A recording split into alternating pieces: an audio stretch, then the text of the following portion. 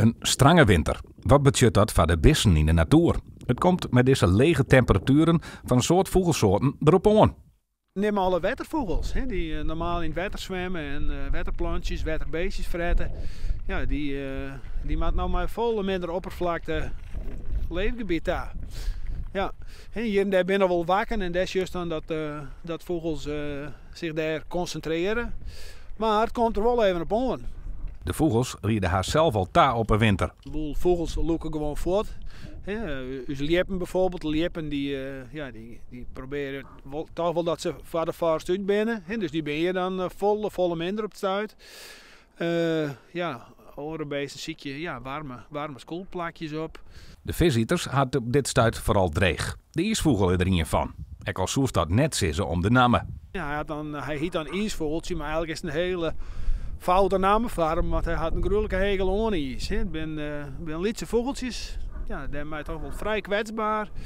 Dit, uh, dit uh, ja, uh, al verleden boven het water visjes vangen. Ja, dat valt nou net mee op dit stuit. De winter had net al in een nijdion. Er zijn heel veel waterplanten die zijn eigenlijk ontsnapt uit de tuincentra, uit aquariums of vivers. En die tieren wilderig op bepaalde plekken. Zoals hier in Boetenveld hebben we watercrasula en een grote waternavel.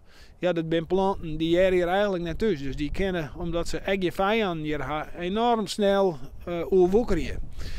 En ja, volgens de literatuur kennen deze soorten uh, slecht oer strenge winters. Dat kon dus nog wel een voordeeltje van deze winterperiode wezen. De beesten in de natuur staan in de oerlibbing staan. En wij, als mensen, kunnen ze haar daar goed bij helpen. Ik denk dat het belangrijk is, je ziet nou dat een boel mensen aan het rijden binnen en dat is fantastisch dat het kan.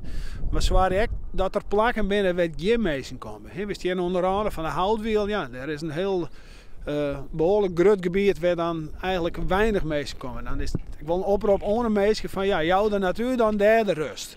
He, had een otter daar mooi in legerkaleid uh, te bekomen, ja, dat, en dan kan er op, zien, op krachten komen en dan kan er weer, uh, weer onder het ijs op jacht naar vis. En maar als er voortdurend verstoord wordt, ja, dan uh, wordt het natuurlijk nog volle zwerder voor, uh, voor deze soorten.